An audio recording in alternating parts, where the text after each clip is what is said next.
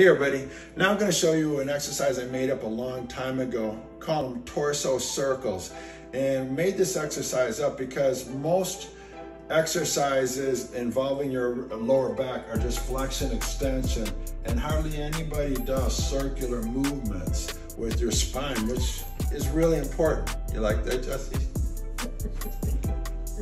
Anyways, how I figured this exercise out is one day, I think Jesse was cooking and I was sitting in here like this, just hanging out. And I thought, huh, I wonder if I can do a little exercise here. So then I tucked my chin,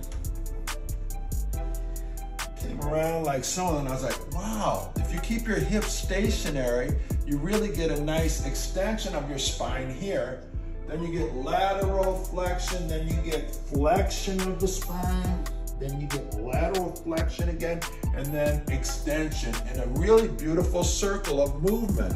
So this is called torso circles. You can make it harder by straightening your legs. You can make it easier by bending your knees. You can make it harder by bringing your feet in. You can make it easier by taking your feet out. Um, you can use your hands on your legs and your in the wall to assist it. So if I put my hands on like so, I can really assist this movement quite a bit. If my butt moves during the movement as well, it makes it a lot easier as well. So this movement is really amazing to strengthen your erector spinae in all manners of movement.